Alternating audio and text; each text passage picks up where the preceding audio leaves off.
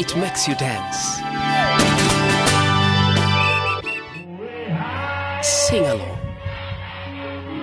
Makes you laugh out loud.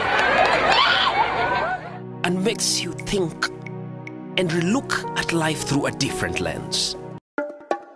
That's art.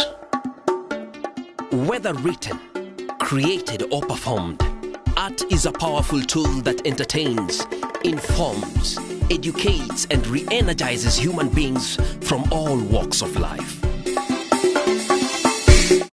In understanding the power of art, CRECO, together with Hivos, developed a new facet of Jukumu Letu called IMOP, Innovative Media Outreach Program.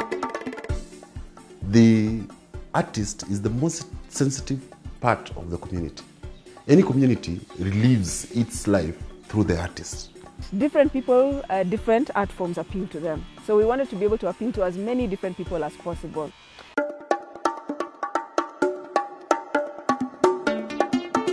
IMOP involves the use of visual and performing arts and new media on the same platform to break down the complexity of the Constitution into the language of the people.